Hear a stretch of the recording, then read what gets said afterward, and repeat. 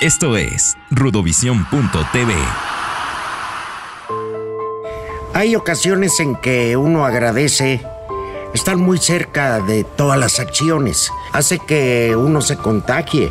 Lo vive con una pasión muy diferente, como la de aquella noche en Ciudad Madero, Tamaulipas. Un luchador impresionante de un físico de portento. Gronda.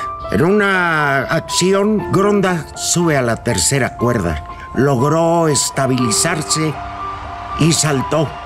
Y algo que yo no quiero volver a vivir es escuchar ese tronido del hueso, donde se llevó tibia, peroné, se desgarró los, eh, los tendones. Fue algo brutal, algo que me dejó muy marcado de que en la lucha libre, por más fuerte que puedas estar, el destino te marca.